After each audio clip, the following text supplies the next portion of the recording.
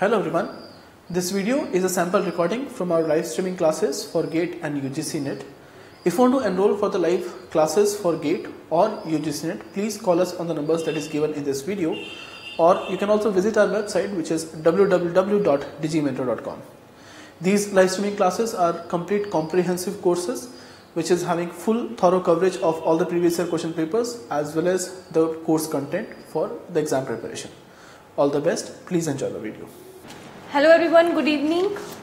So due to some technical problem, so your class is delayed. Sorry for that. So please those who are present, please say yes in the comment box. Hi Jyoti, how are you? Hello Sakshi, hi Jay. Hello everyone. Hello Anupama, hi. Okay, that's great. So, uh, इससे पहले बाकी लोग भी हमें join करें तो please tell me the answer of these two questions these two questions are related to the topics those we are already covered in the last lecture so फटाफट से give me the answer of these two questions we will start the new topic which is uh, the model. First is A are applied through the software processes. Okay, Sakshi, Anupama. Okay, so the first question, this question is already asked in NET 2012 December paper 2 में उन्होंने ये question पूछा था dash are the applied throughout the software process ठीक है? So we have framework activities so framework activities तो these are steps तो वो तो सब में ही अप्लाई होंगे बट उसके साथ साथ उस सॉफ्टवेयर की क्वालिटी को इन्हेंस करने के लिए हम कौन सी एडिशनल एक्टिविटीज़ हम अप्लाई करते हैं ताकि हमें एक इन्हेंस सॉफ्टवेयर मिले राइट right? तो उसके लिए we apply the umbrella activities right Now the next question is, this question is asked in NET 2013, September paper 2. This question is, working software is not available until late in the process.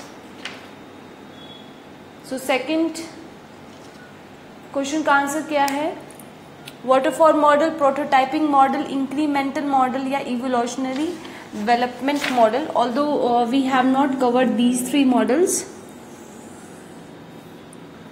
so uh, I think we have already covered waterfall model in the last class right so waterfall model में क्या होता था we have following steps like requirement analysis then we have planning then we have coding phase then testing phase then the delivery phase right so जब तक at the last जब तक सारी requirements जब तक सारे फेजेस कंप्लीट नहीं हो जाएँगे, तब तक हमें एक फाइनल प्रोडक्ट नहीं मिलेगा।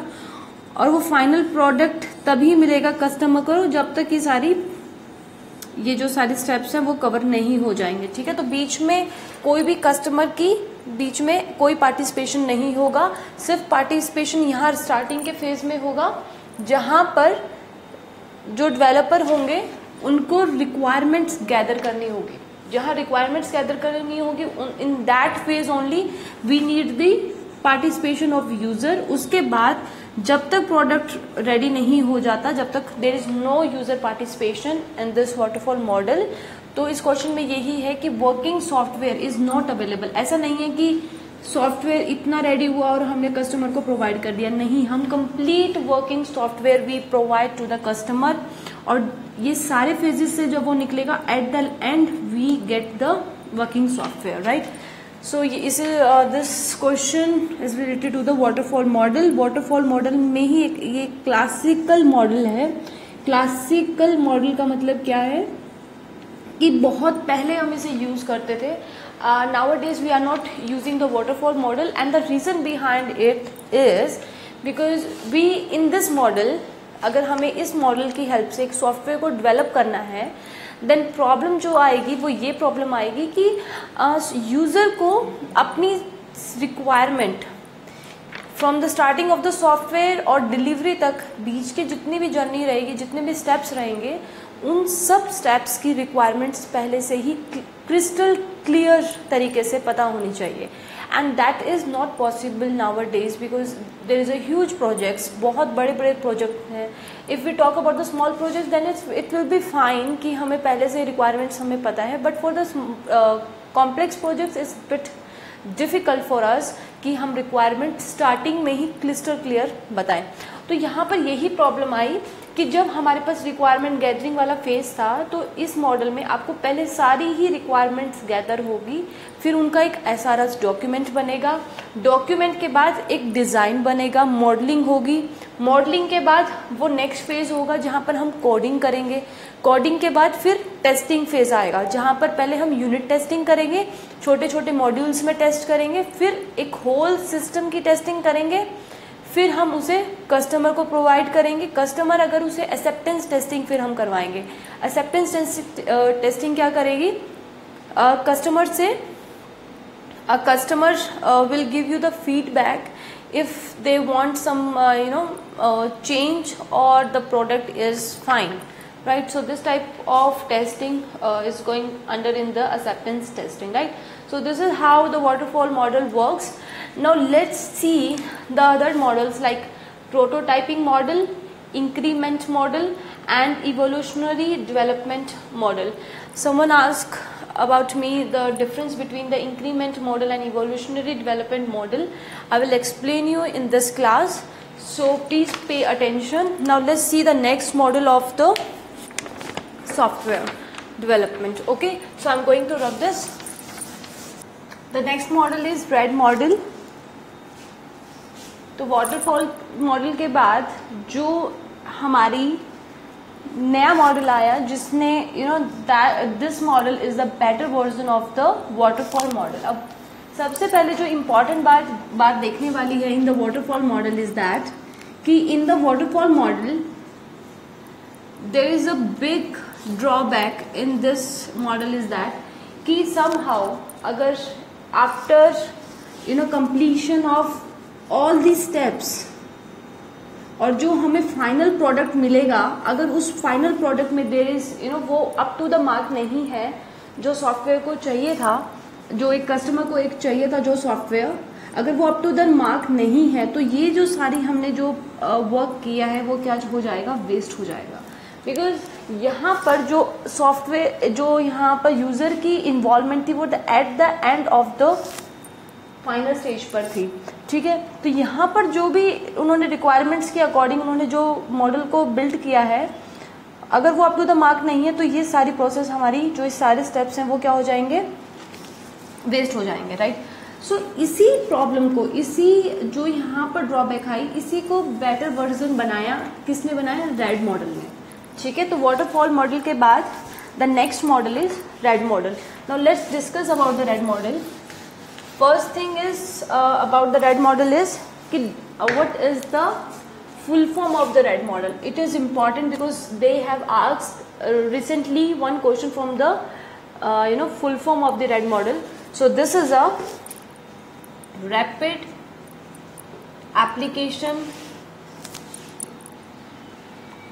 development model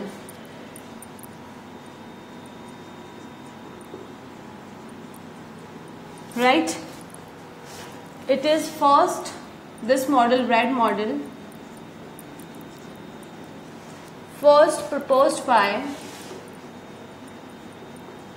इसे फर्स्ट प्रपोज किया था आईबीएम ने this is just a introduction part of this right RAD model in 1980s okay so it built RAD model built a rapid prototype.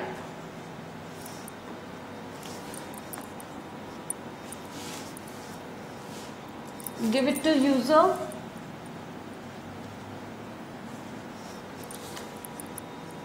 For evaluation and obtain feedback.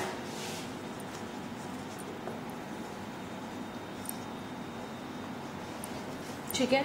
तो इस model में क्या रहता है कि there is active participation of user is also there active participation of users ठीक है? So these are the some short notes related to the RAD model so just write it down your notebook ठीक है then I will explain you in detail what is RAD model इसकी working क्या होती है advantages क्या हैं और disadvantages क्या हैं रेड मॉडल के राइट right?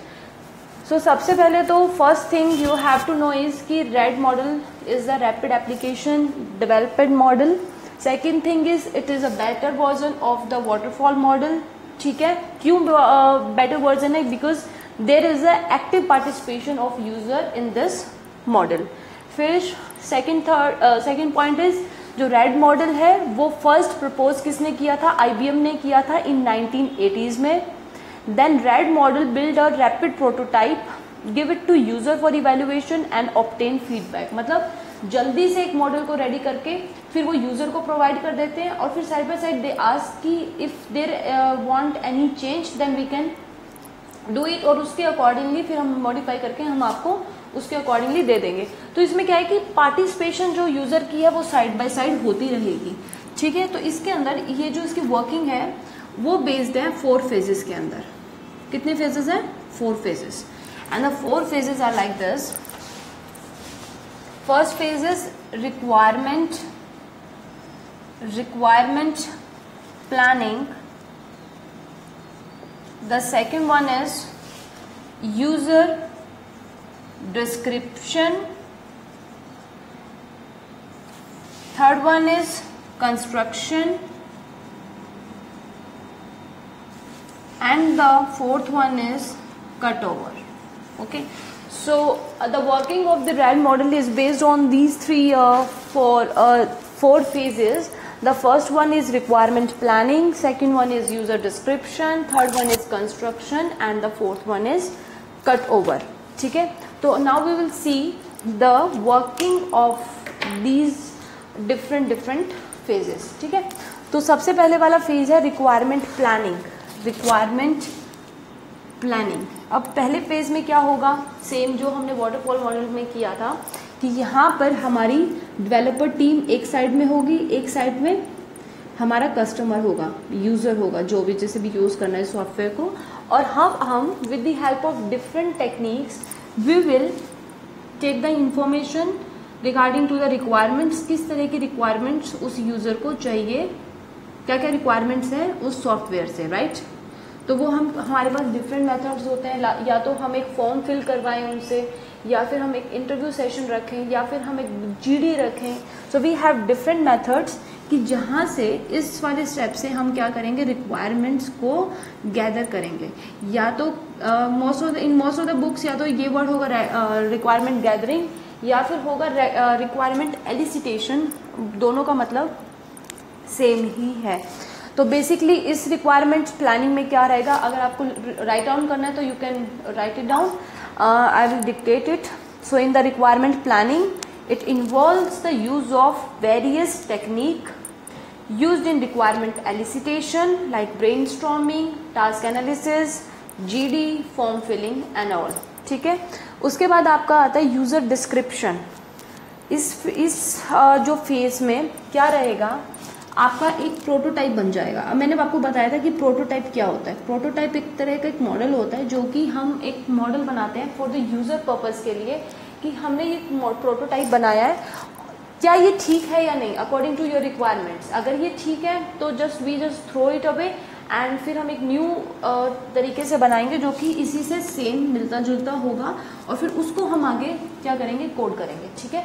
पर जब तक हमें कस्टमर की तरफ़ से एक श्योरिटी नहीं मिल जाती कि ये जो हमने प्रोटोटाइप को रेडी किया है, ये प्रोटोटाइप वैसा ही प्रोटोटाइप ऐसा ही प्रोटोटाइप मॉडल है जैसा हमें एक ओरिजिनल मॉडल चाहिए, जब तक हम उस तरह के डिफरेंट डिफरेंट प्रोटोटाइप्स बनाते रहेंगे।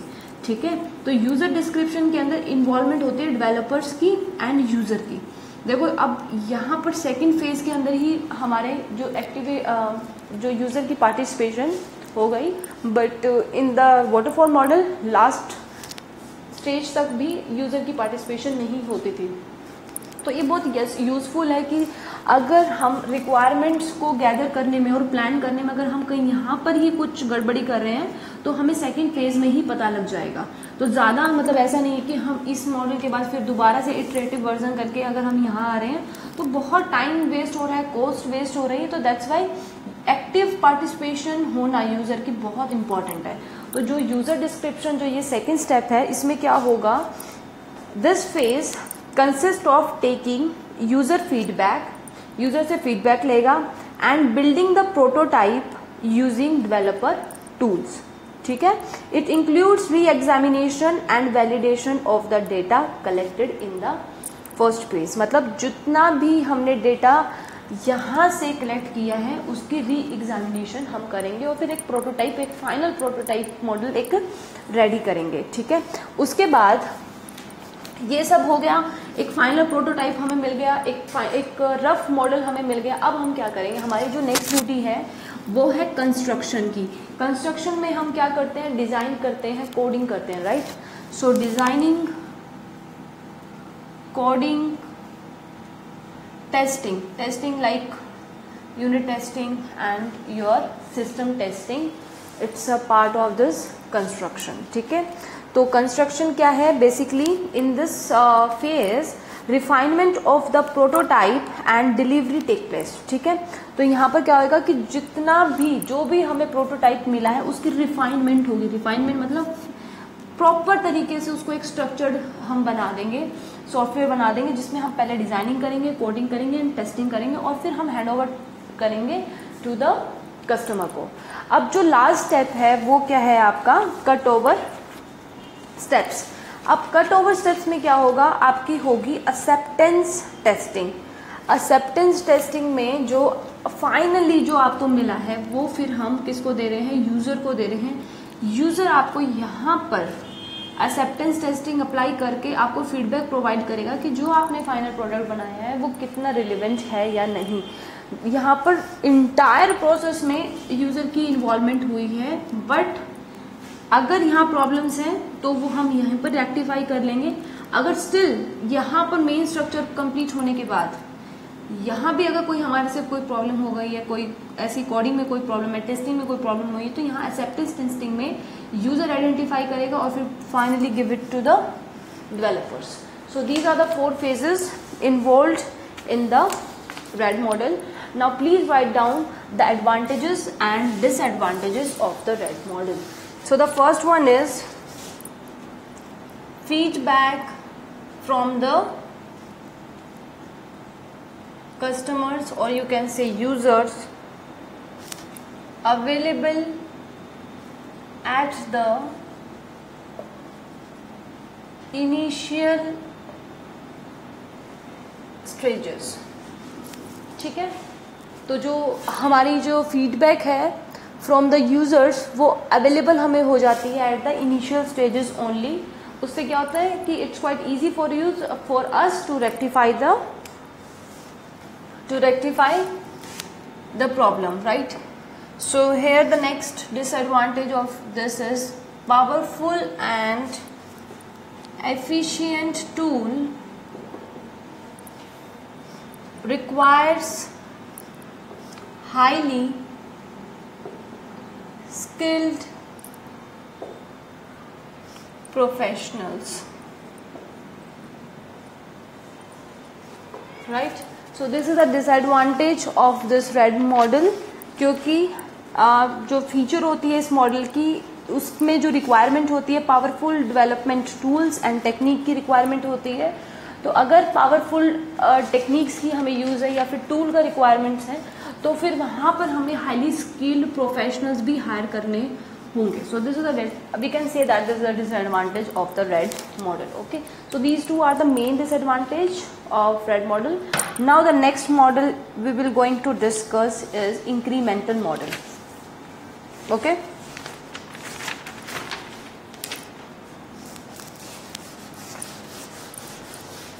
see, they will ask very simple question from the from this models बहुत सिंपल ज़्यादा डिटेल में वो क्वेश्चंस नहीं पूछते हैं। जैसे कि रैड मॉडल से मैंने जितने भी क्वेश्चंस देखे हैं उन्होंने ज़्यादा से ज़्यादा उनसे इसकी डेफिनेशन से पूछे हैं या फुल फॉर्म से पूछे हुए हैं।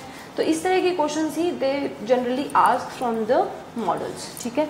So there is no need to go in much detail you have to know कि इनकी फंक्शनैलिटी क्या फेजेज इसके अंदर होते हैं क्या ये यूज़ किस अप्रोच को ये यूज़ करते हैं that's that will be more than sufficient for you okay ना the next model is incremental process model incremental process model ठीक है? Let's discuss about this then I will write the points related to this model. So, incremental, as the name suggests increments right? Increments हम कब करते हैं कि जब हम किसी स्टेप से या फिर हमने कोई स्टेप्स फॉलो किए हैं सॉफ्टवेयर को डेवलप करने के लिए, अगर we are not satisfied with that या फिर we want to add some additional functionalities in it then we go incremental methods ठीक है? तो जैसे कि एक एग्ज़ाम्पल लेते हैं। There is one example like word processing software word processing software first let's see this example then we will see the working कि ये काम कैसे करता है, ठीक है? तो जो ये वर्ड प्रोसेसिंग सॉफ्टवेयर अगर हमें एक ऐसा सॉफ्टवेयर बनाना है राइट तो हम क्या करेंगे कि इस with the help of incremental model we will you know develop this software तो डिफरेंट डिफरेंट इंक्रीमेंट्स में हम इसको क्या करेंगे? बिल्ड करेंगे। तो जैसे कि फ़र्स्ट uh, अगर हम बात करें कि फ़र्स्ट इंक्रीमेंट में फ़र्स्ट मैंने इंक्रीमेंट किया उसके अंदर मैंने इसके अंदर कुछ फंक्शनैलिटी को टारगेट्स किया। Functionalities like basic file management system editing and so on ठीक है? तो फ़र्स्ट जब मैंने रिक्वायरमेंट्स यूज़र से पूछी तो मैंने इन सब रिक्वायरमेंट्स को ज़्यादा प्रायोरिटी दी एंड अकॉर्डिंग टू दैट मैंने ये सॉफ्टवेयर बना दिया जो कि इन सब फंक्शनैलिटीज़ को फुलफिल करता है। ठीक है?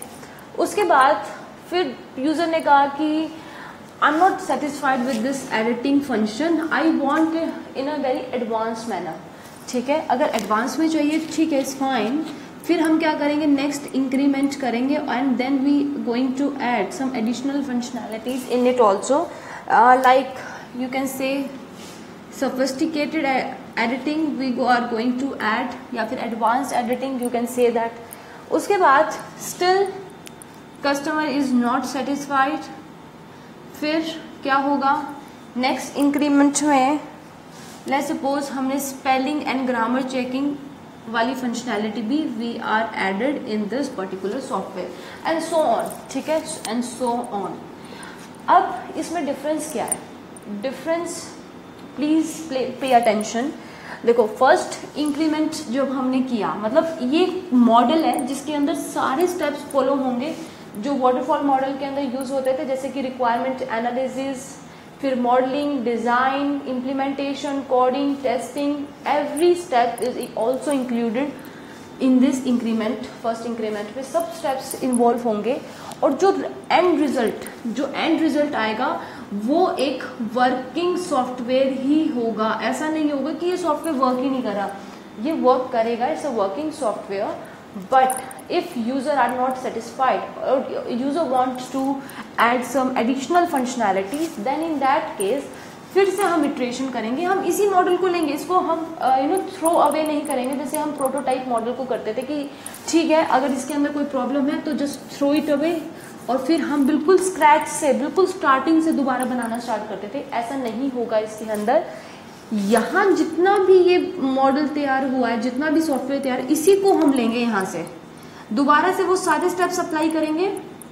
और ये वाली जो एडिशनल फंक्शनैलिटी है ना, जो ये यूज़र की नई वाली रिक्वायरमेंट है, इसको भी यू नो माइंड में रखेंगे and according to that we build the एक दोबारा से वर्किंग सॉफ्टवेयर राइट उसके बाद still we will take the feedback from the customer फिर उस, हमें लगता है कि ही और शी इज़ नॉट सेटिस्फाइड फिर से ये वाला मॉडल लेंगे and we add some additional functionalities और इस वाले में हम स्पेलिंग एंड ग्रामर को भी हमने, ये वाली फंक्शनैलिटी भी हमने एड ऑन कर दी and finally we give it to the user and if user is satisfied then is fine right so this is a whole procedure incremental mode process model इस तरह से काम करता है। तो उसके बाद हम इवोल्यूशनरी प्रोसेस मॉडल भी करेंगे ऑल वो भी इंक्रीमेंटली इसी तरह से काम करेगा but there is you know bit difference between these two model ये मॉडल आप अच्छे से समझना, कुछ पॉइंट्स इंपॉर्टेंट है इसके अंदर।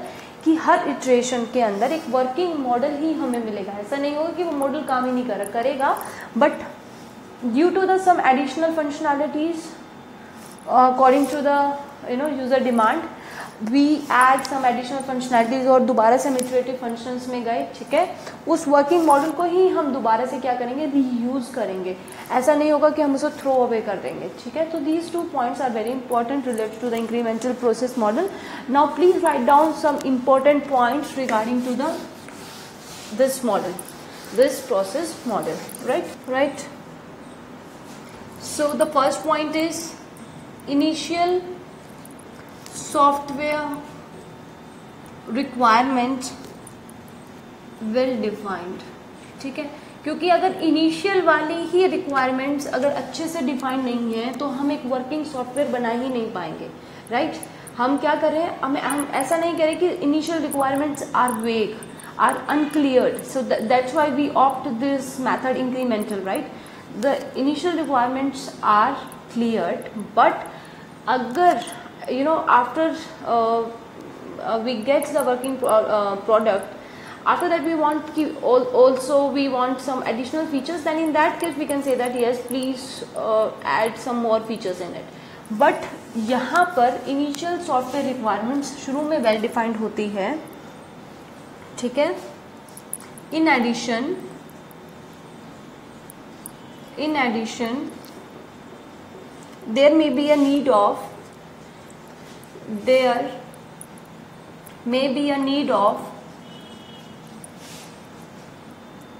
provider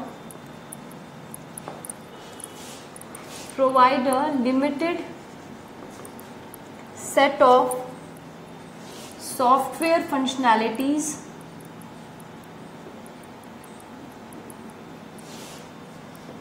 to users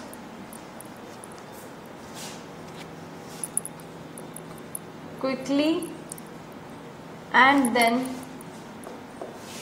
refine and expand on that functionality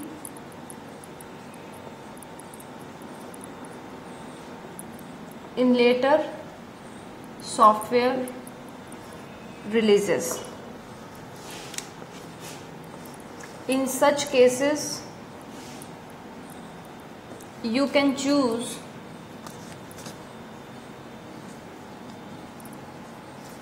You can choose a process model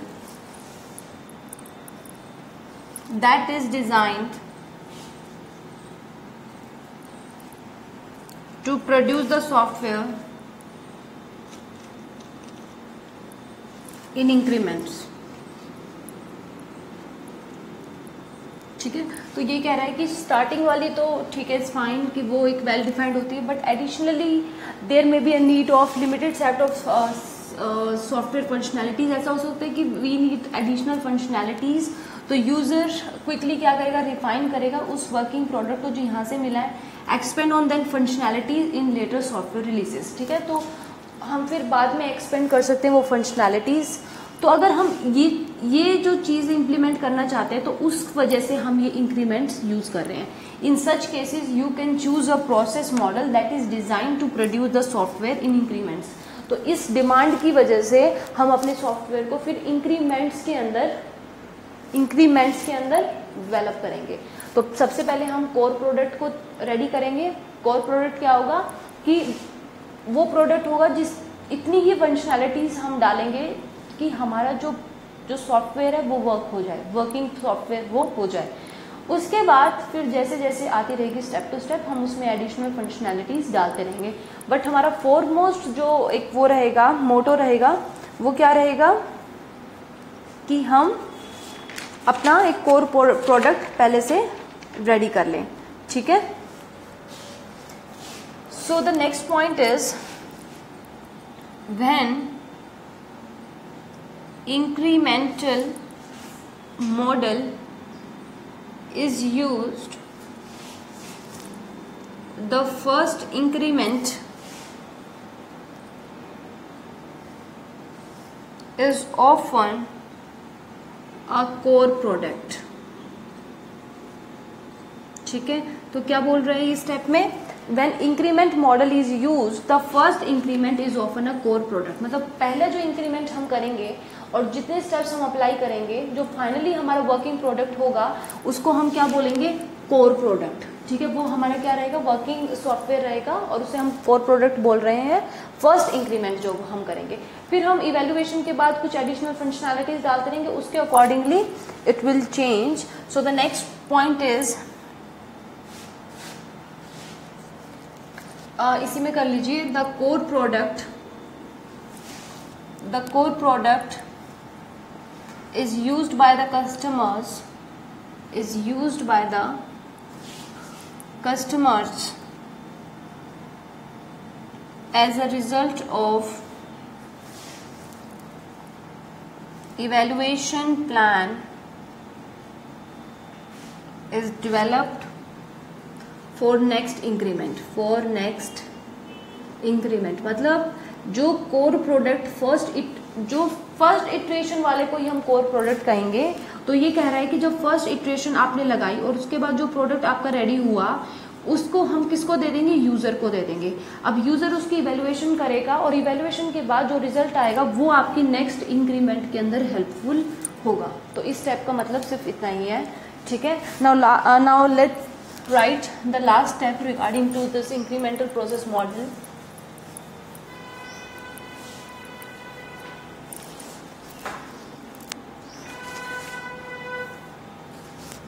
the plan addresses the modification of core product to better meet to better meet the needs of the customers and delivery of additional features and functionalities ठीक है? सो ये आपका last point था। इसमें कुछ भी मैंने extra नहीं लिखा है। जितना मैंने आपको समझा अच्छा समझाया, उतना ही सिर्फ़ आपके पॉइंट्स लिखवाए हैं। कि एक बार कोर प्रोडक्ट हो गया, फिर आपने यूज़र ने उसको इवेलुएट कर लिया, फिर आप उस, वो जो इवेलुएशन है वो नेक्स्ट इंक्रीमेंट के अंदर आ गई। फिर जो plan addresses the modification of core product मतलब आप प्लान हम बनाएँगे कि अपने कोर प्रोडक्ट को मॉडिफाई करने के लिए to better to better meets the need of the customer right and delivery of additional features and functionalities ठीक है? आई होप अब आपको समझ आ गया होगा। और इसका जो डायग्राम है, वो कुछ इस तरह से बनता है। Now I know I guess I you know the steps different steps we use the same steps we use in the waterfall model like let suppose we have this steps तो ये आपकी यहाँ पर जो वर्क प्रोडक्ट होगा, वो आपकी first iteration होगी, जहाँ आपको एक कोर प्रोडक्ट मिलेगा, ठीक है?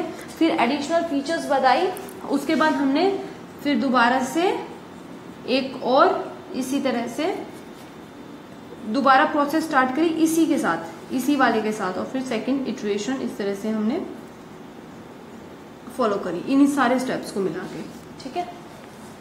Next model is evolutionary model ठीक है? तो सबसे पहले let's see the comparison between the iterative and the evolutionary process model and then we will see the difference between these two models ठीक है तो एक तरफ हम iterative process model लिख लेते हैं और इस incremental sorry incremental process model and on the other side I am writing the evolutionary model evolutionary process model ठीक है? तो सबसे पहले देखते हैं कि इन दोनों के बीच में सिमिलैरिटी क्या है।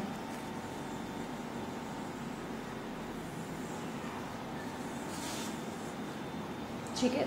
सिमिलैरिटी तो इन दोनों के बीच में यही है कि हम जो भी सॉफ्टवेयर को डेवलप कर रहे हैं, ठीक है, वो हम एक इंक्रीमेंट्स के अंदर डेवलप करेंगे। इसके अंदर भी ऐसा होगा और इवोल्यूशनरी मॉडल के अंदर भी ऐसा सेम ही होगा। कि कुछ एडिशनल फंक्शनैलिटीज़ हमारे पास अगर कस्टमर की डिमांड पे अगर एडिशनल फंक्शनैलिटीज़ आएँगी तो we will opt the method of iterative मतलब लाइक इंक्रीमेंटल मेथड राइट ना the second thing is the second thing is the difference between these two अब डिफरेंस क्या है? जब मैंने इंक्रीमेंट प्रोसेस मॉडल को आपको एक्सप्लेन किया था तो मैंने एक वर्ड के ऊपर बहुत इम्फेसाइज किया था कि हर एक इंक्रीमेंट में हर एक इंक्रीमेंट जब एक फ़र्स्ट इंक्रीमेंट होगा सेकेंड इंक्रीमेंट होगा थर्ड इंक्रीमेंट होगा तो हर इंक्रीमेंट मॉडल में हमें एक वर्किंग प्रोडक्ट मिलेगा वर्किंग सॉफ्टवेयर मिलेगा, उस वर्किंग सॉफ्टवेयर को ही हम मॉडिफाई करके हम एक नया एडिशनल फंक्शनैलिटीज उसके अंदर ऐड करेंगे।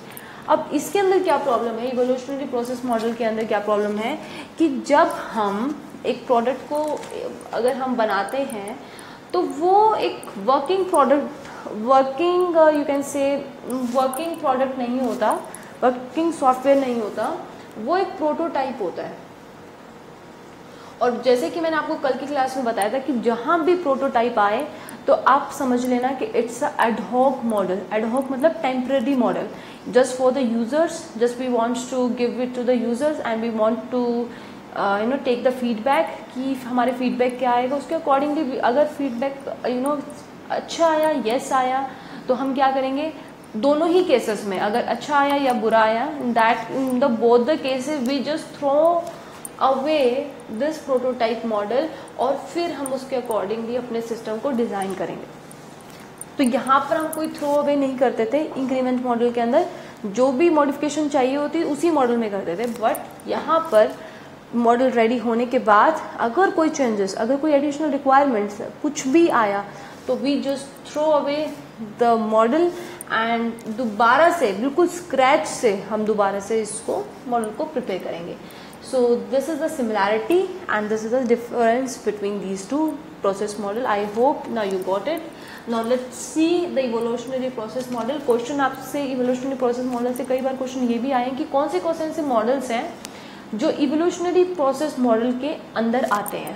ठीक है? ये क्वेश्चन बहुत इंपॉर्टेंट है?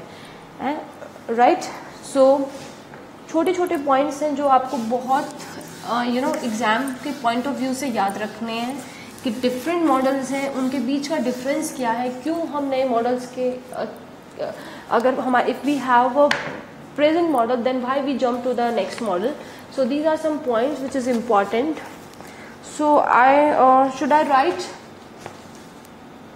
the difference और similarity between these two models or just start with the working of this evolutionary software model? Please comment.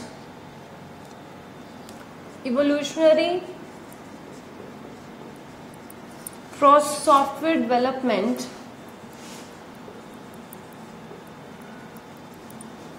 model is based on the is based on the idea of rapidly developing and software from start with very raw specifications ये भी एक difference है कि बहुत रो एक बिल्कुल कम specification से हम स्टार्ट करते हैं and modifying this according to your software needs ठीक है? it also makes the version it makes the versions on software in which requirements are added with each versions ठीक है So these are two points related to the uh, evolutionary process model. There is one more mod, uh, point is evolutionary model. The short form is EM. Are iterative type models. They allow to develop more complete versions of the software ठीक है तो ये कुछ points हैं related to the evolutionary model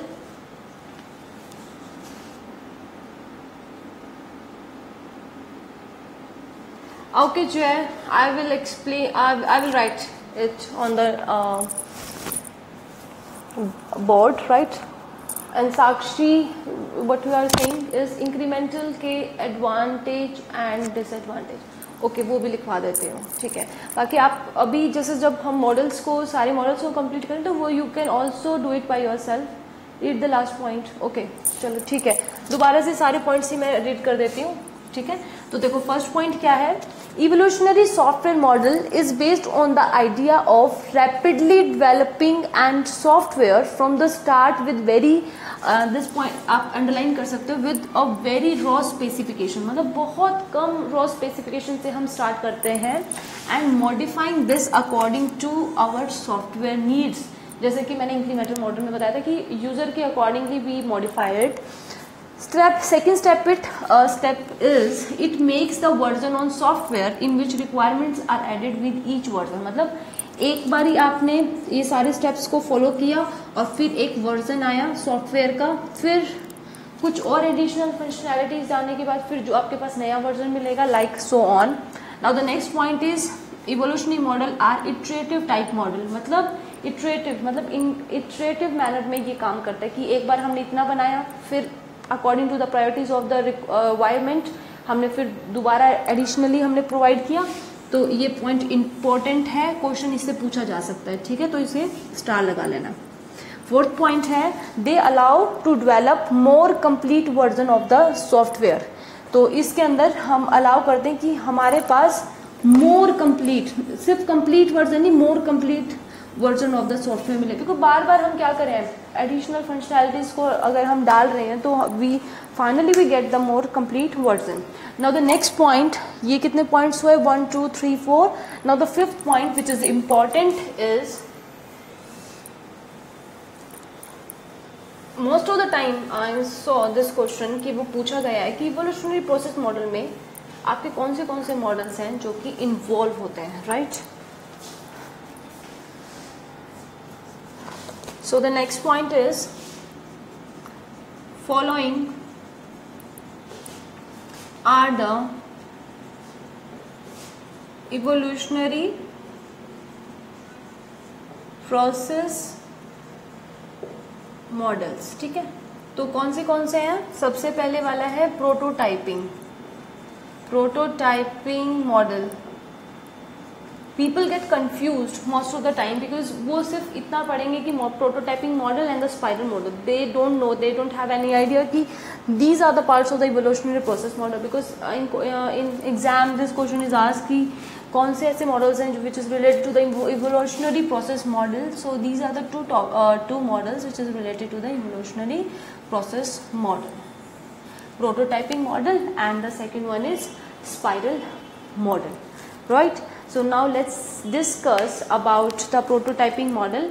And before that I want to give you the difference right? Difference kya hai? So I'm going to dictate it.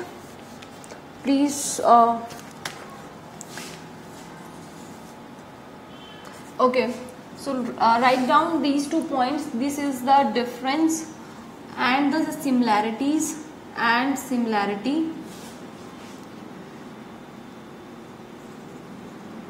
in between iterative and oh sorry incremental increment and your evolutionary process model evolutionary process model ठीक है तो सबसे पहले इधर मैं similarity लिख रही हूँ similarity and other side I'm writing the dissimilarity right so similarity क्या है? Both work on the concept of developing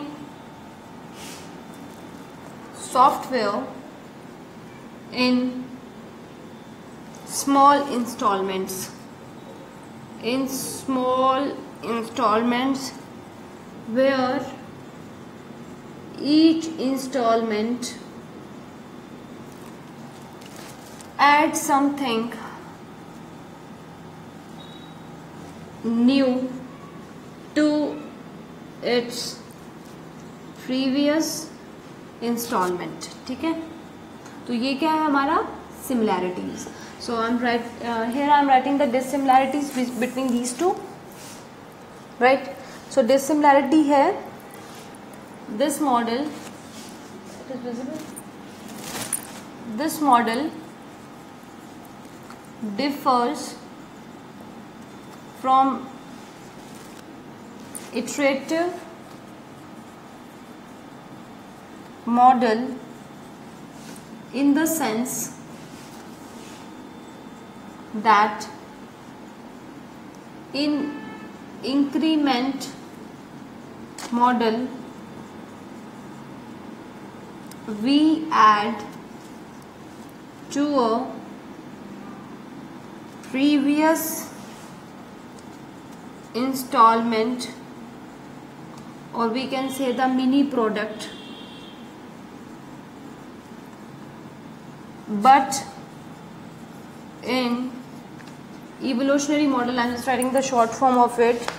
The previous installment मतलब प्रीवियस इंस्टॉलमेंट लगा लो या फिर वो जो आपको वर्किंग प्रोडक्ट होगा जो भी उस इंक्रीमेंट के अंदर आएगा इज़ थ्रोन अवे ठीक है? Is thrown away and we build a completely new installment new I think it's not. I'm writing here. uh, यहाँ पर लिख देती हूँ। New installment in each iteration ये तो ये जो सब्जेक्ट है बहुत ज़्यादा सब्जेक्टिव सब्जेक्ट है। तो इसमें ज़्यादा आपको राइटिंग करना पड़ेगा नोट्स के लिए। तो इस, आ, मैं इसे रीड आउट कर देती हूँ एक बारी। This model difference from iterative model जिसमें ये डिफरेंस है। In the sense that in increment model जो ये इंक्रीमेंट वाला मॉडल है we add to a previous installment mini product मतलब मिनी प्रोडक्ट के अंदर ही हम एडिशनल फंक्शनैलिटीज़ को डाल देते हैं बट इन इवोल्यूशनरी मॉडल में the previous installment is thrown away मतलब जो भी इंस्टॉलमेंट जो एक फ़र्स्ट इक्वेशन के बाद हमें एक वर्क प्रोडक्ट मिला, उस, उसको तो हम थ्रो अवे कर देते हैं and we build a completely new installment in each iteration हर एक इट्रेशन के अंदर हमें एक नया ही प्रोडक्ट मिलेगा। ठीक है? तो this is the difference so it's complete now so I am going to rub it after the completion of all the models I will explain you I will give you the some questions which is already asked uh, in NGNet and then you will give me the answers of it. उससे आपको थोड़ा confidence भी आएगा कि हमने अभी जितना किया है वो डेप्थ में किया है ब्रीफ में किया है या फिर हमें और उससे ज़्यादा पढ़ने की ज़रूरत है तो you will get the idea तो so topic name is prototyping model ठीक है? तो मैं इसे रबी कर देती हूँ. So first write the points prototyping model मतलब बना रहे हैं मॉडल uh, को और फिर इवेल्युएशन के लिए दे रहे हैं फिर दोबारा से हम उसे थ्रोन अवे कर रहे हैं। जब तक हमें एक अच्छे वाला मॉडल नहीं मिल जाता जो कि अप टू द मार्क है कस्टमर की नीड्स के अकॉर्डिंग राइट जब तक हमें वो नहीं मिल जाता we just build it and throw away build it and throw away मिल जाएगा फिर भी हम थ्रो अवे करेंगे और फिर फाइनली सिस्टम को बिल्डअप करेंगे कोडिंग करेंगे टेस्टिंग करेंगे एंड सो ऑन ठीक है? तो ये जो पूरा मॉडल है वो इसी चीज़ के ऊपर बेस्ड है राइट सो so, इसमें भी हम क्या कर रहे हैं? इवोल्यूशनरी मॉडल में भी क्या होता था? Why it is a part of evolutionary model because in this case we just we build it and throw away the you know the model and increment होता रहेगा according to the requirements of the user ठीक है तो इन दोनों functionality की वजह से this is a part of the evolutionary model right so please write down the points which, uh, related to the prototyping model so the first point is see all these points will be very helpful for you uh, ये Sakshi camera is blurring in between okay let me check okay okay let start ठीक है? तो first point is prototype is defined as first और preliminary form using which other forms are copied or derived ठीक है उसके बाद next point is I am just writing the short form of it P M prototyping model P M prototype model is a set of general objectives for software उसके बाद जो third point है वो है it does not identify it does not identify the requirements like bracket में detailed input और you can say output है ना? ठीक है? उसके बाद next point is it is a software working model of limited functionality of limited functionality ठीक है? Next is in this model working programs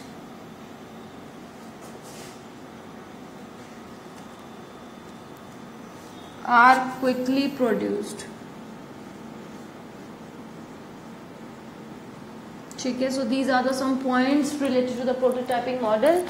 Now I'll go I'm going to explain all the topics uh, all the points sorry so the first one is prototype is defined as first or preliminary form using which other forms are copied and derived मतलब ये बिल्कुल starting वाला model है उसके बाद भी जो बाद वाले जो मॉडल्स है वो डिराइव होते हैं या फिर यूँ के यूँ कॉपी होते हैं ठीक है तो क्योंकि इस वाले मॉडल को तो थ्रो अवे होना ही है दिस इज़ द श्योर बस आगे आने वाले मॉडल्स या तो कॉपी होंगे या फिर अगर कोई गड़बड़ है अकॉर्डिंग टू द यूज़र तो हम फिर डिराइव करेंगे, ठीक है?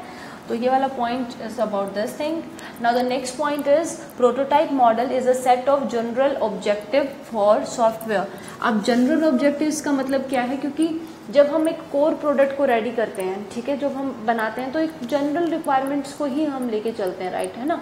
एडिशनल रिक्वायरमेंट्स तो हम बाद में जब यूज़र का फीडबैक मिलता है तो उसके बाद एड ऑन करते हैं but from for the starting purpose we start from the very general objectives के स्टार्टिंग हम स्टार्ट करते हैं। So this is about the second point now the third point is it does not identify the requirements like detail input और output ठीक है? तो शुरू में ही डिटेल इनपुट और आउटपुट का के बारे में it's not concern now the next point is it is a software working model of limited functionality मतलब लिमिटेड फंक्शनैलिटी के साथ हम एक मतलब यू you नो know, एक एडहॉक मॉडल बना देते हैं।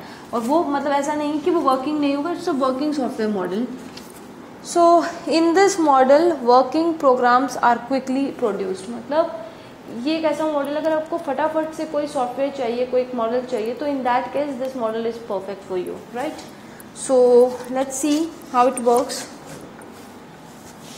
तो क्या सेम uh, हम स्टेप्स यूज़ करेंगे इसके अंदर भी। सबसे पहले वाला स्टेप क्या हुआ? कम्युनिकेशन कम्युनिकेशन किसके साथ? स्टेक होल्डर्स कस्टमर्स के साथ। फिर रिक्वायरमेंट्स कैसे करेंगे। उसके बाद एक फटाफट से एक क्विक डिज़ाइन हम बनाएँगे ठीक है? Quick design we prepare it then फिर हम उसकी क्या करेंगे? मॉडलिंग करेंगे उस क्विक डिज़ाइन की। ठीक है? उसके बाद कंस्ट्रक्शन होगी उस प्रोटोटाइप की। देन डिप्लॉयमेंट करेंगे। इस डिप्लॉयमेंट वाले फ़ेज़ में ना फीडबैक इज़ ऑल्सो इंक्लूडेड अगर कुछ प्रॉब्लम है then this process you know repeat it so this is how it works right now the next model is spiral model spiral model is also the one of the model which is included in the evolutionary model right so please write down few points related to this the most important points related to the spiral model is that कि ये risk analyse करता है ठीक है बाकी सारी models है वो रिस्क एनालिसिस नहीं करते this is one of the this is one of the model जो कि रिस्क एनालिसिस भी करता है। क्योंकि बाद में यू नो सॉफ्टवेयर को डेवलप करने के बाद फिर रिस्क फिर बाद में अगर सॉफ्टवेयर फेल uh, हो जाए तो इन दैट केस बहुत लॉस होता है। तो spiral model is one of the models जो कि रिस्क एनालिसिस भी करता है साइड बाय साइड सो ये क्वेश्चन आपसे स्पाइरल से अगर कोई क्वेश्चन आया तो because they ask most generally they ask very simple question so एक ये क्वेश्चन है जो कि बहुत बार बन चुका है पूछा भी जा चुका है related to the spiral model now let's write down few points related to the spiral model so the first point is only it is a risk driven process model ठीक है? रिस्क की एनालिसिस भी करके चलता है ये वाला model first point which is very important now the next point is it is use for generating software projects ठीक है? वो तो सारे प्रोजेक्ट्स प्रोजेक्ट्स मॉडल्स ही यूज़ होते हैं। ठीक है? Now the next point is and alternatives an alternative solution is provided if the risk is found in the, ये वाला पॉइंट इंपॉर्टेंट है, ठीक है? तो इसे आप फ़र्स्ट पॉइंट बना लीजिए, इसको सेकेंड और इस वाले को थर्ड ठीक है? An alternative solution is provided if the risk is found in the risk analysis then the alternative solutions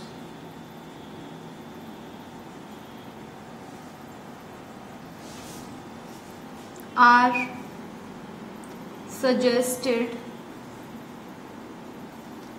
and implemented ठीक है ये वाला पॉइंट इज़ इंपॉर्टेंट बिकॉज़ ये सबसे, ये बाकी सारे मॉडल से डिफरेंट है right right?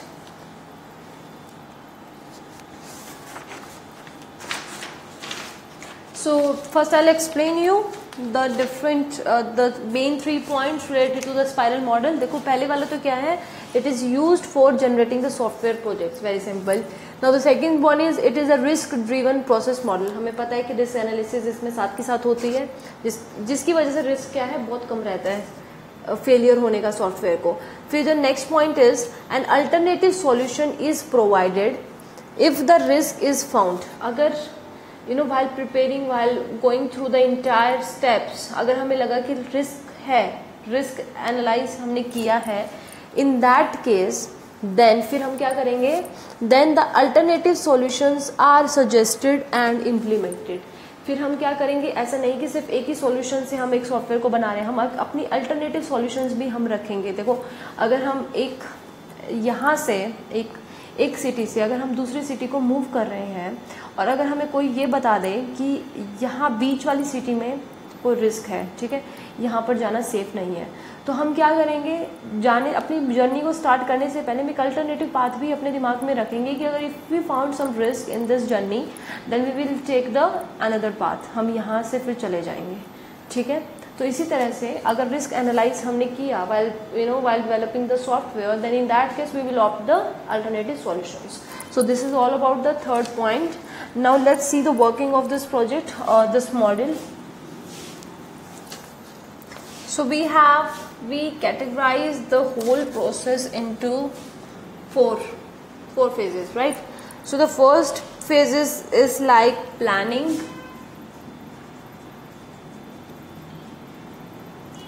Second one is your risk analysis.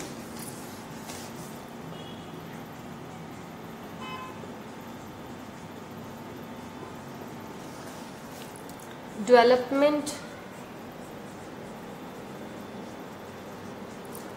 and this one is assessment.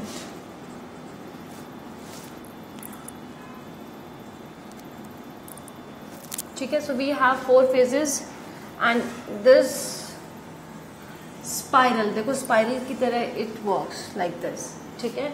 So this is the structure of this model तो सबसे पहले जो हमारा फ़र्स्ट फ़ेज़ है, ये वाला एक फ़र्स्ट क्वार्टर है, ठीक है? यहाँ से स्टार्ट करना है। ये फ़र्स्ट है this one is your second this one is your third ज़्यादा डिटेल में नहीं जाना। आपको वो आपके जब आपके सेमेस्टर एग्ज़ाम होते थे तो in that case it will be important because हमें वहाँ ड्रा ड्रॉ करना होता था कि इस वाले फ़ेज़ में क्या आएगा, इस वाले फ़ेज़ में क्या आएगा, इस वाले फ़ेज़ में क्या होगा।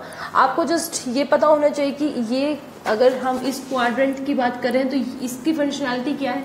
इस क्वाड्रेंट की बात करें तो इसकी फंक्शनैलिटी क्या है? इस क्वाड्रेंट की बात करें तो इसकी फंक्शनैलिटी क्या है? इस क्वाड्रेंट की बात करें इसकी फंक्शनैलिटी क्या है?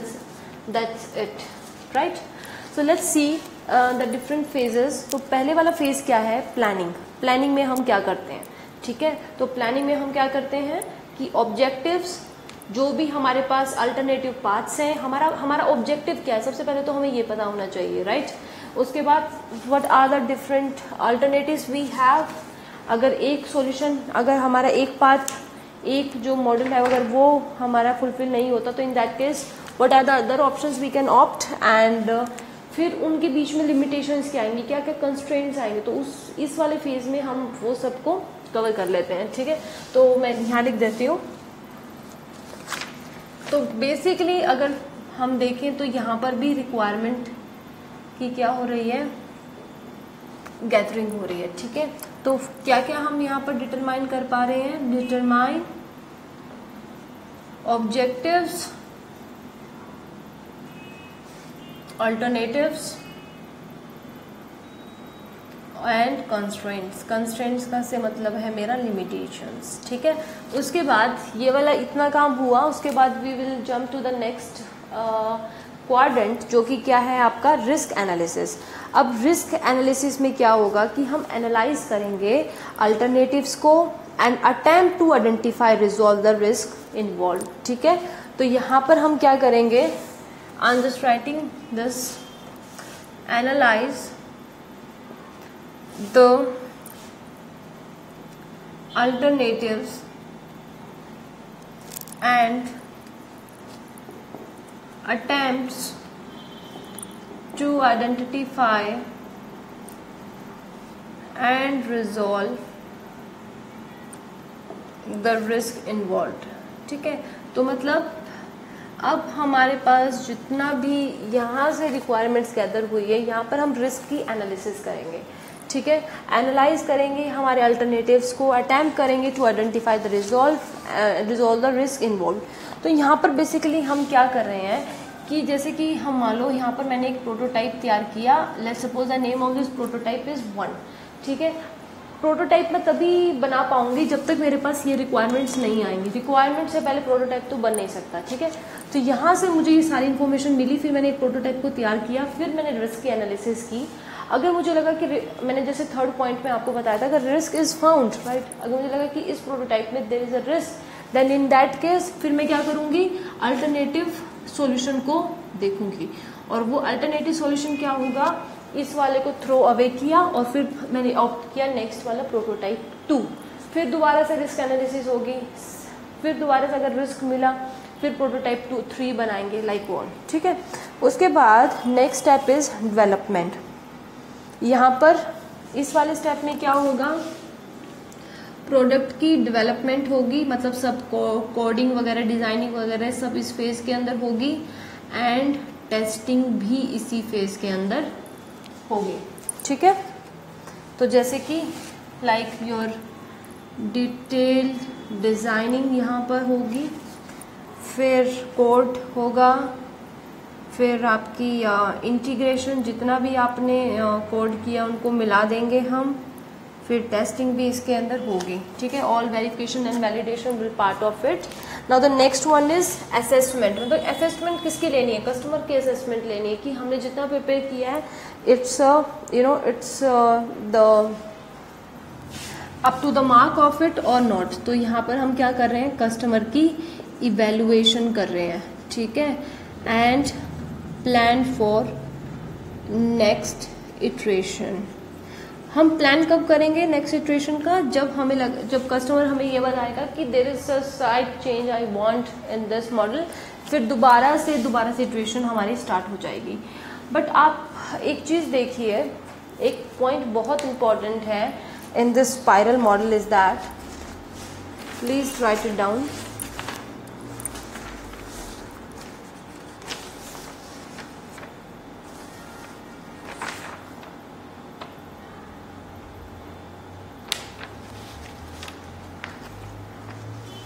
कि जो ये आपका स्पाइरल मॉडल है it's a part it's it's you know it's a combination of two two models पहले वाला मॉडल क्या? वाटरफॉल मॉडल ठीक है? वाटरफॉल मॉडल इसके अंदर क्यों अप्लाई हो रहा है? क्योंकि हम जितने भी स्टेप्स है वो सिक्वेंशली फॉलो कर रहे हैं, ठीक है? लीनियरली फॉलो कर रहे हैं। ऐसा नहीं कि बीच में से कहीं फिर इसके ऊपर जंप कर रहे नहीं। सिक्वेंशली फॉलो कर रहे हैं बट इसके साथ साथ हम इंक्रीमेंटल मॉडल भी हम साथ के साथ इसके अंदर यूज़ करें क्योंकि हम इंक्रीमेंट कर रहे हैं कि according to the user requirements फिर हम दोबारा से उसमें या तो हम यहाँ पर क्या करेंगे? प्रोडक्ट सॉफ्ट uh, दे देंगे कस्टमर को या फिर दोबारा से हम ये सारी प्रोसेस को फॉलो करेंगे। ठीक है? There is one mode model is also prototype prototype भी इसके अंदर मॉडल यूज़ हुआ है, ठीक है? तो it's a part of it's a combination of three models like prototype waterfall increment model ठीक है? प्रोटोटाइप भी तो यूज़ हुआ है। यहाँ पर एक बार बनाया, फिर हमने, हमें लगा कि रिस्क है तो फिर हमने दोबारा से नया वाला बिल्ड किया, ठीक है? Advantage and disadvantage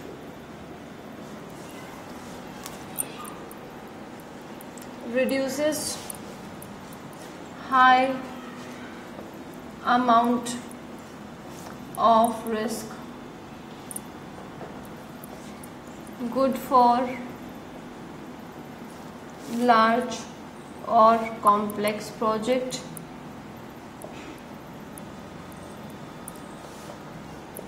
Software. It can be costly to develop a software model. And the second disadvantage is it cannot be used, it is not used for small, not used for small project. ठीक है? तो मतलब सबसे पहले advantage तो ये है कि बड़े बड़े प्रोजेक्ट्स के लिए यूज़ होते हैं, क्योंकि छोटे प्रोजेक्ट्स के लिए तो रिस्क एनालिसिस करने की ज़रूरत ही नहीं है।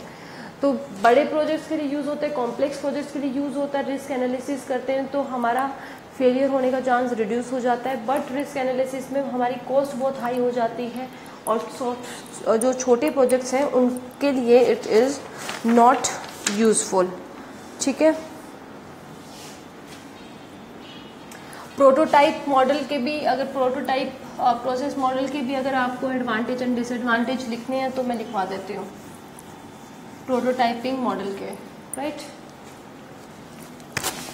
I skip this part because if अगर आपको समझ आ गया है कंसेप्ट तो you can also write it by yourself but it's fine मैं लिखवा देती हूँ प्रोटोटाइपिंग मॉडल के advantages and disadvantage is need not to know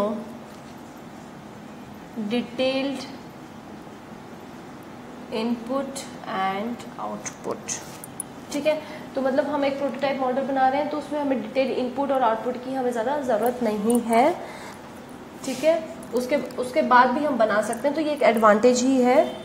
इसके अंदर जो यूज़र्स हैं, वो आपके एक्टिवली पार्टिसिपेट करेंगे राइट क्योंकि उनके फीडबैक के बाद ही हम अपने जो प्रोटोटाइप को डिस्कार्ड करेंगे एंड अकॉर्डिंगली वी एक्ट उसके बाद errors are detected much earlier बहुत जल्दी, क्योंकि अगर एक्टिव पार्टिसिपेशन है, जहाँ भी एक्टिव पार्टिसिपेशन है यूज़र्स की, वहाँ पर रिस्क तो आपको बहुत जल्दी पता लग ही जाएगा राइट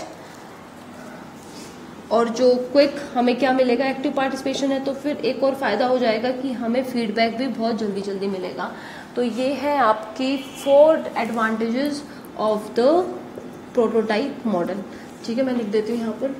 प्रोटोटाइपिंग मॉडल की advantage and disadvantage now let's see the disadvantage slow process है वाइट से स्लो प्रोसेस क्योंकि बना रहे हैं टेम्पररी मॉडल बना रहे हैं, फिर थ्रो अवे कर रहे हैं, फिर दोबारा से नया वाला बना रहे हैं। तो it's bitter small it's bitter slow process right ठीक है?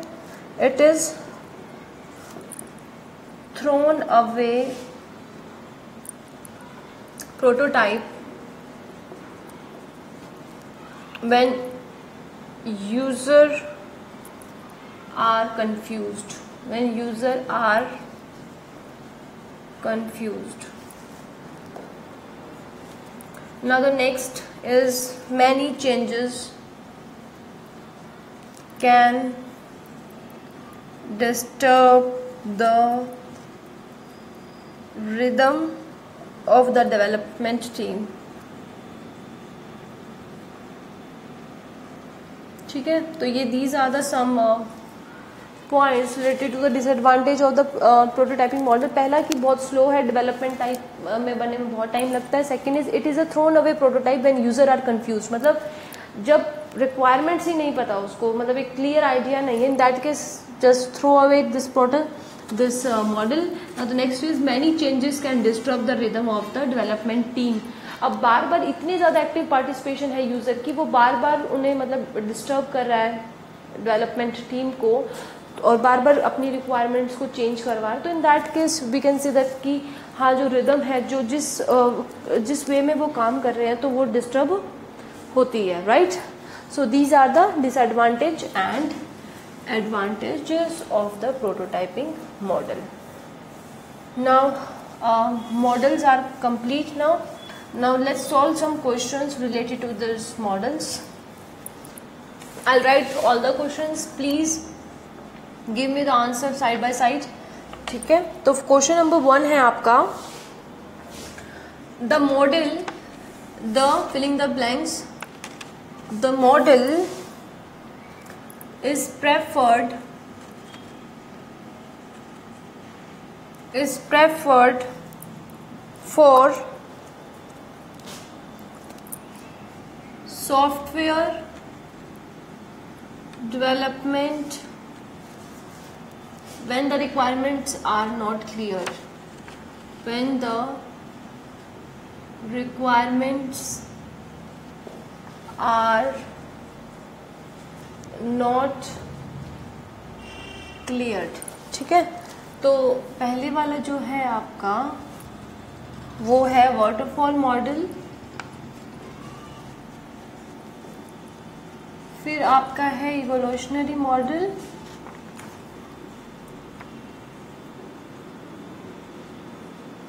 फिर है आपका इंक्रीमेंटल मॉडल ठीक है so we you have let suppose we you have three options and I don't remember in which आज this question this also one of the previous year question right now the question number two is the prototyping model the prototyping model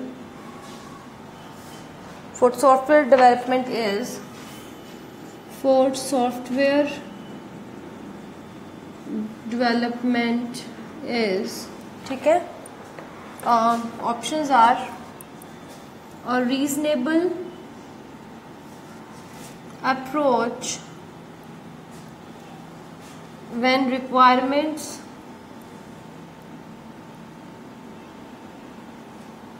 are well defined.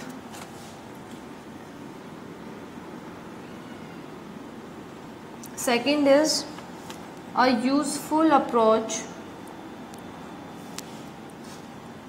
when a customer cannot define requirement clearly या फिर third option best approach to use for projects with large development team.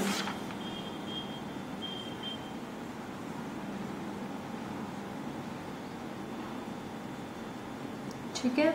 So please tell me the answer of these questions Jay B मतलब किसका first या second this is A this is B this is C and this is your A option B option C option right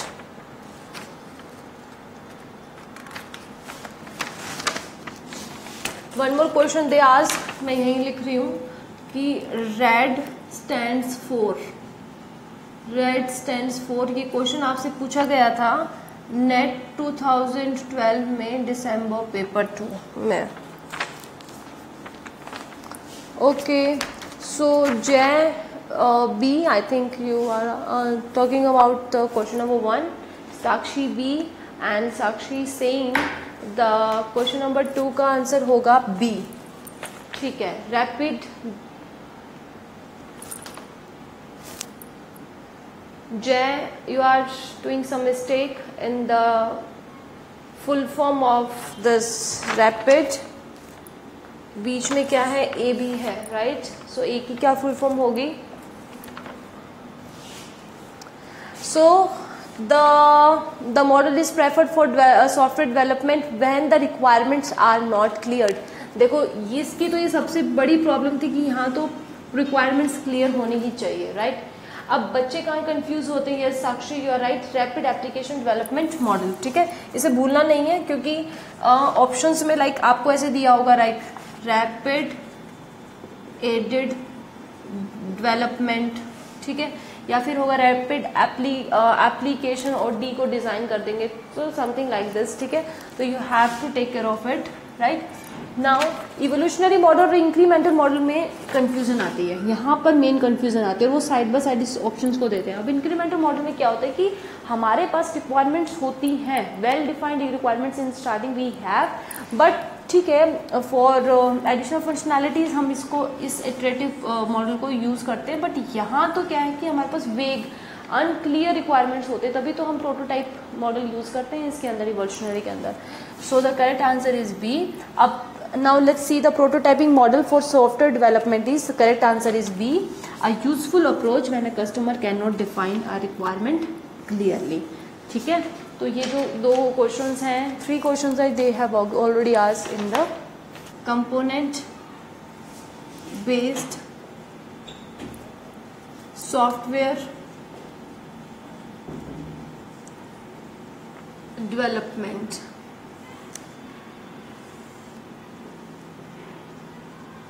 ठीक है? Component based software development इसकी जो short form होती है वो C B S C B होती है और we also known it by component software development. Software based development ठीक है? तो ये these two are the name of this same topic ठीक है?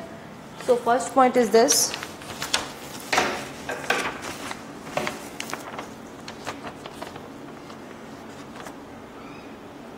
So as a name suggest component based software development मतलब कंपोनेंट्स की हमें कंपोनेंट्स के ऊपर बेस है इस इस जो सॉफ्टवेयर हम बना रहे हैं कंपोनेंट्स के ऊपर बेस है। मतलब हमारे पास कंपोनेंट्स होने चाहिए, फिर उन कंपोनेंट्स को हम क्या करेंगे? असेंबल करेंगे राइट right?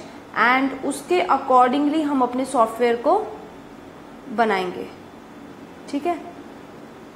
तो let me write the points related to this one second.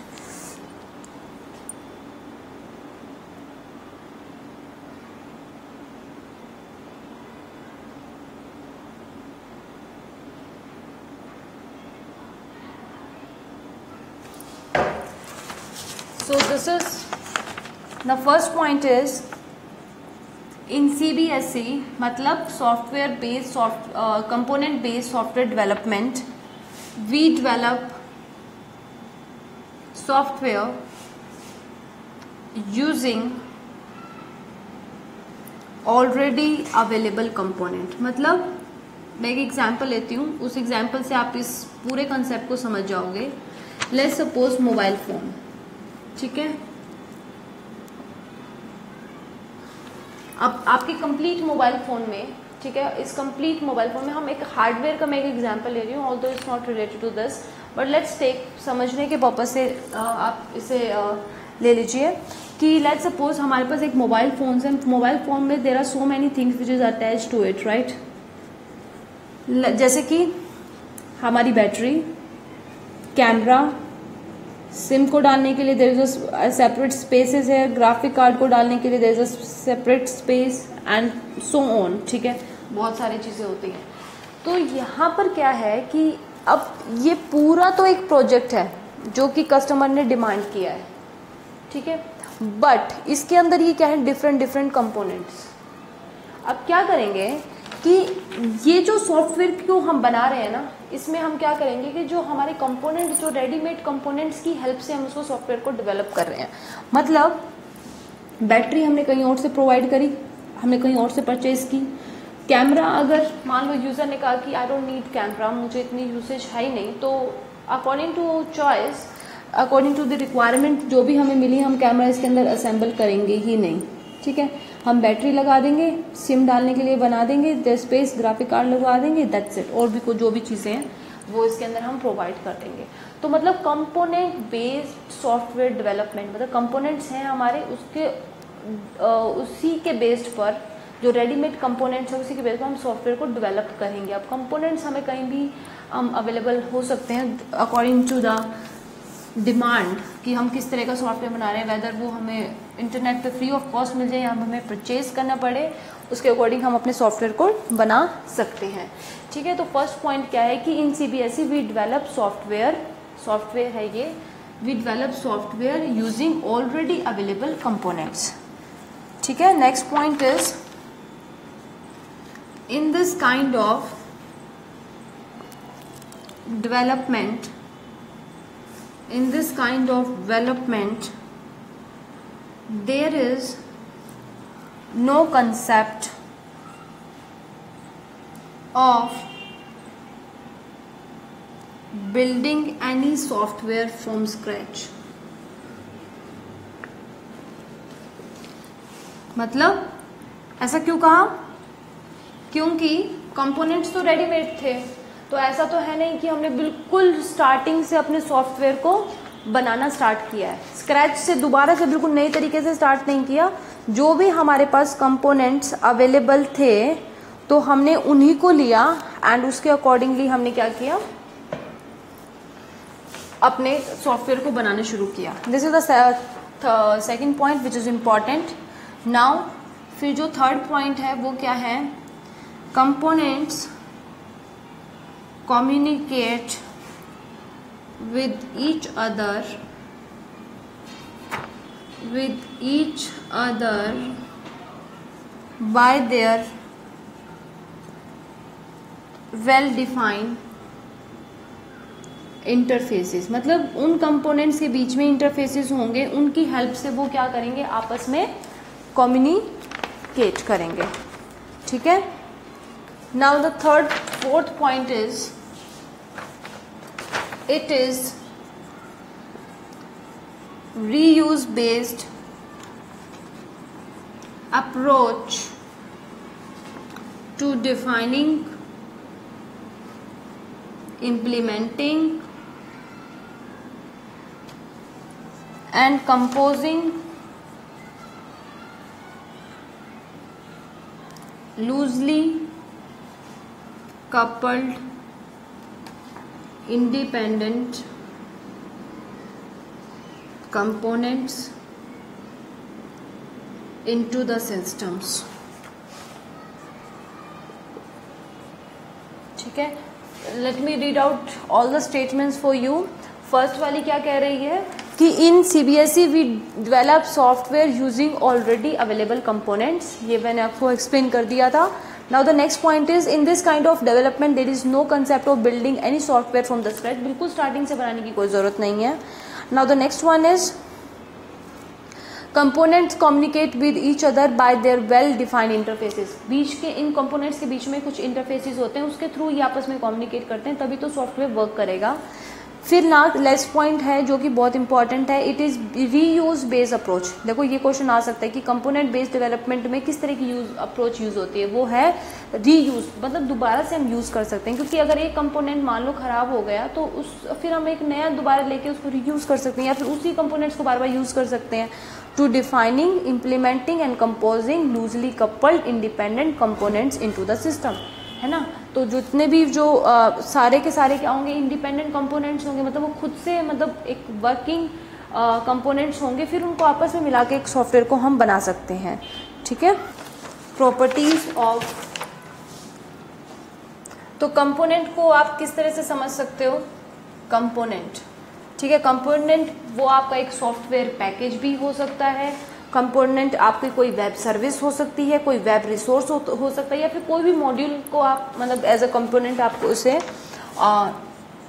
Identify कर सकते हो। तो प्रॉपर्टीज़ क्या होनी चाहिए? जो भी हम कंपोनेंट्स ले रहे हैं सॉफ्टवेयर बनाने में उनकी प्रॉपर्टीज़ क्या होनी चाहिए? सबसे पहली बात तो कि भाई वो इंडिपेंडेंट होनी चाहिए। ऐसा नहीं है कि उन कंपोनेंट्स को भी किसी और कंपोनेंट की ज़रूरत पड़े उस चीज़ को बिल्डअप करने के लिए, ठीक है? तो जो आजकल की जो ट्रेंडी जो हमारी रिक्वायरमेंट है वो किस तरह से है? हम आजकल कंपोनेंट बेस्ड सॉफ्टवेयर डेवलपमेंट ही करते हैं। जैसे कि आपने ये देखा होगा कि ब्रिजेस जब भी हम ब्रिजेस बनाते हैं, ठीक है? या फिर जो मेट्रो की जो लाइन बनती है, जिसके लिए, जिसके ऊपर मेट्रो जब चलती है राइट तो वो भी ऐसा नहीं होता कि हम कस्टमाइज करें, हम उसी टाइम पे वो प्रिपेयर कर रहे हैं राइट तो उनके भी जो इस तरह से ब्रिजेस में भी इस तरह से जो हमारे पास वो बना के रखते हैं कंपोनेंट्स मतलब इस तरह से बनाया और फिर उनको ज्वाइन कर दिया एंड फिर इस तरह से ब्रिज को हमने बना दिया, ठीक है? तो जो यहाँ पर ये जो बन रहे हैं, वो डिफरेंट जगह पे बन रहे हैं, फिर उनको हम वहाँ से उठा के वहाँ, जहाँ पर हमें ब्रिज बनाना है, वहाँ पर हम लगा रहे हैं और फिर बीच में उनको जोड़ रहे हैं फाइनली इस तरह से हम एक ब्रिज की कंस्ट्रक्शन कर रहे हैं क्योंकि आजकल ऐसा ही चल रहा बिकॉज़ ये एक बहुत ही टाइम सेविंग प्रोसेस है राइट तो सेम प्रोसेस हम सॉफ्टवेयर के अंदर भी लगा रहे हैं कि दोबारा से नई तरीके से बनाना इससे अच्छा ये है कि छोटे छोटे पार्ट्स में आप आ, बन आ, आपके जो कंपोनेंट्स हैं उनको लो और फिर फाइनली आप बना दो। तो ये ये कह रहा है कि अगर जो, मान लो ये वाला कंपोनेंट है जिसे आपने अटैच करा है तो ये कंपोनेंट ऐसा नहीं हो चाहिए कि किसी और कंपोनेंट के ऊपर बेस है कि ये, तब ये होगा तो ये फुलफिल होगा। तो वो आपस, वो खुद में एक इंडिपेंडेंट होना चाहिए, खुद में एक वर्किंग कंपोनेंट होना चाहिए। तो एक तो ये फीचर उसकी होनी चाहिए। ना the next one is standardize standardize component होना चाहिए। Let's take very simple example जैसे कि अगर मान लो आपके पास कोई मोबाइल फ़ोन है राइट एप्पल का मोबाइल फ़ोन है right you have a charger Apple charger ठीक है? एप्पल के चार्जर हर एप्पल फ़ोन्स के लिए मोस्टली एप्पल फ़ोन्स के लिए सेम होते हैं राइट चाहे वो किसी और फ़ोन्स में ना लगे बट एप्पल के फ़ोन्स में वो लग जाते हैं। तो इससे स्टैंडर्डाइज हमने इसको स्टैंडर्डाइज कर दिया कि अगर आपने एप्पल का, अगर आपने कोई प्रोडक्ट लिया है तो वो सारे एप्पल के प्रोडक्ट्स के लिए वैलिड होगा। तो ये फीचर इस चीज़ को बताती है। Now the next one is deployable deployable मतलब डिलीवरी एंड फीडबैक वगैरह के लिए इट शुड बी वैलिड और फिर ये जो ये वाला पॉइंट है it's related to the documented मतलब जो आपका कंपोनेंट है, वो प्रॉपर तरीके से डॉक्यूमेंटेड होना चाहिए। डॉक्यूमेंटेशन का मतलब ये हुआ कि आप वो वो कंपोनेंट आपका कैसे बना, ठीक है? उस कंपोनेंट के लिए यू कैन से क्या टर्म्स एंड कंडीशन है तो एवरीथिंग शुड बी देयर ठीक है? तो ये सब चीज़ें होनी चाहिए। तो this is the properties of the component now next one is the benefit of C B S C benefit benefits लगा लो एडवांटेज लगा लो it's all same the next point is benefits of C B S C benefits of CBSE. So the first one is reusability. Second point is your uh, extensibility. And the fourth, third point is your maintenance. ठीक है तो reusability मतलब एक component है उसको आप बार बार use कर सकते हो। तो reusability is the in the component उसके बाद मेंटेनेंस मेंटेनेंस भी अगर ठीक है अगर एक कंपोनेंट खराब हो गया तो we can buy other component and this is how ऐसा नहीं होगा कि अगर लेट सपोज़ अगर यू uh, नो एक कंपोनेंट यहाँ पर हमारा खराब हो गया तो उसका मतलब ये नहीं कि उसके जो बाकी जो सारा पूरा सिस्टम है, वो पूरा का पूरा फेलियर हो जाएगा। अगर ये वाला कंपोनेंट खराब हुआ तो हम इसको रिप्लेस करके कुछ वो वैसा ही सेम कंपोनेंट हम इसके अंदर असेंबल कर सकते हैं। उसकी वजह से इंटायर सॉफ्टवेयर आपका डाउन नहीं होगा, ठीक है? उसके बाद एक्सटेंसिबिलिटी एक्सटेंसिबिलिटी जैसे कि आपने देखा होगा इन चाइल्डहुड आपने गेम खेला होगा ब्लॉक्स ठीक है? ब्लॉक्स होते हैं कलरफुल ब्लॉक्स होते हैं, उन ब्लॉक्स को आप जोड़ जोड़ के यू नो हाउस बना देते हो कार बना देते हैं एनीथिंग तो इसके अंदर भी एक्सटेंसिबिलिटी होती है राइट क्योंकि हमारे पास डिफरेंट कंपोनेंट्स होते हैं, उनको हम कैसे भी अरेंज करके एक सिस्टम बना सकते हैं सॉफ्टवेयर सिस्टम बना सकते हैं, ठीक है? So this is the benefits right one more important point related to the component based development, कि this is more like object oriented programming, ठीक है? Object oriented programming से ऑब्जेक्ट ओरिएंटेड अप्रोच से इट्स मिलता जुलता है but it's not same as because it is far better than object oriented because object oriented में उप्स concept में we use the classes ठीक है डिफरेंट डिफरेंट क्लासेज यूज़ होती हैं, उसकी फंक्शनैलिटीज होती हैं राइट बट सम हाउ अगर ऐसा है कि एक क्लास दूसरी क्लासेस ऐसा हो सकता है कि वो आपस में डिपेंडेंट है बट जो कंपोनेंट्स हैं कंपोनेंट्स वाला जो ये नो अप्रोच है it is far better than the OOPs concept because reason ये है कि उप्स में क्लासेस को भी हमें कंस्ट्रक्ट करना पड़ता है खुद से। ऑब्वियसली ये भी कंपोनेंट्स की तरह काम करती हैं कि इसकी अपनी एक एडिशनल फंक्शनैलिटी है क्लास वन की। अगर हम एक प्रोग्राम में क्लास टू करें, उसकी अपनी एडिशनल फंक्शनैलिटी अगर यहाँ पर कुछ फेलियर हुआ तो वो उसके ऊपर इफ़ेक्ट नहीं करेगा। अगर बाय चांस अगर if they are not related to each other but ये बेटर इससे क्यों है? क्योंकि यहाँ पर तो हमें क्लासेस को भी बनाना पड़ रहा है बट वहाँ पर हमें कंपोनेंट्स हैं जो, वो कैसे मिल रहे हैं? रेडीमेड कंपोनेंट्स हमें उस केस में मिल रहे हैं, ठीक है? So this is about the your uh, component based development so in the next class we uh, the left topics are let me discuss what we are going to discuss in the next class so the next uh, the left uh, left out topics like aspect oriented software development agile process models this is important agile process models में इसके अंदर आते हैं extreme uh, programming XP फिर आता है adaptive software development scrum dynamic system development model feature driven development crystal and web engineering ठीक है so some topics are left and we will going to discuss it in the next class okay so अभी आपकी TOC uh, की class है Himanshu sir की ठीक है? तो जो भी क्वेरीज हैं वो हम कल की क्लास में कवर करेंगे ठीक है? I think SDLC, we I have already explained you software development life uh, cycle, right? कल की क्लास में I think it's covered. If still you have doubt, Sakshi, I will explain you in the next class. Okay.